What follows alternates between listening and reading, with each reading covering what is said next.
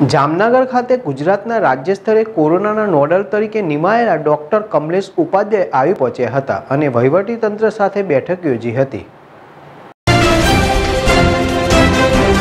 ગુજરાત રાજ્ય સ્તરે corona nodal તરીકે નિમાયેલા ડોક્ટર કમલેશ ઉપાધ્યાય જામનગર આવ્યા હતા, જ્યાં તેમણે કલેક્ટર કચેરી ખાતે આરોગ્ય તંત્ર અને વહીવટીતંત્ર સાથે બેઠક યોજી હતી.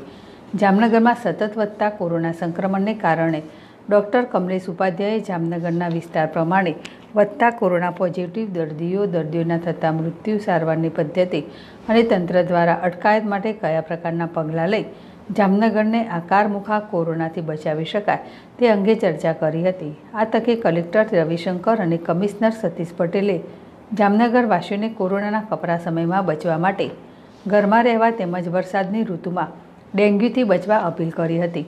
આ બેઠકમાં કલેક્ટર રવિશંકર કમિશનર સતીશ પટેલ જિલ્લા વિકાસ અધિકારી વિપિન ગર્ગ નિવાસી અધિક collector Rajendra Sarvaiya MP Shah medical કોલેજના ડીન નંદિની દેસાઈ જીજી હોસ્પિટલના સુપ્રિન્ટેન્ડન્ટ દીપક તિવારી જામનગરના corona nodal doctor S S Chatterjee તથા અન્ય અધિકારીઓ કર્મચારીઓ ઉપસ્થિત રહ્યા હતા. જામનગરની પરિસ્થિતિ જોતા હતા. હર્ષલ ખંડેરિયા જેડેશ ટીવી જામનગર. પચાસ સાઠ સો જેટલા પેશન્ટની સંખ્યા હતી આખા જિલ્લામાં. હવે પરિસ્થિતિ એ રીતે થઈ ગઈ છે કે આ સંખ્યા વધતા વધતા હવે છસોની આજુબાજુ આપણે ટચ કરી રહ્યા છે સાથે સાથે જે એક્ટિવ પેશન્ટ છે, એની સંખ્યા પણ લગભગ બસોની આજુબાજુ અત્યારે જામનગર જિલ્લામાં આવી ગયા છે. આ સંખ્યામાં બહુ ઝડપથી વધારો થઈ રહ્યા છે. એનું મુખ્યત્વે કારણ આપ સૌએ વિદિત છો. સોશિયલ ડિસ્ટન્સિંગનો અભાવ અને બિનજરૂરી લોકોના સિટીમાં ફરવાનું.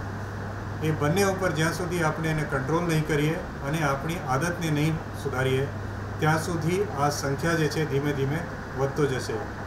આપે અમદાવાદની સિચ્યુએશન જોઈ છે અને હવે આપ સુરત અને રાજકોટની પણ પરિસ્થિતિ આપ જોઈ રહ્યા છો. અમારી જે સ્ટેટસ છે, આજની મિટિંગ પણ જે અમારા સ્ટેટ નોડલ સાથે થઈ, એ કન્ડિશન જામનગરમાં હવે લગભગ પંદર એક દિવસમાં એ પણ સિચ્યુએશન આવી જશે.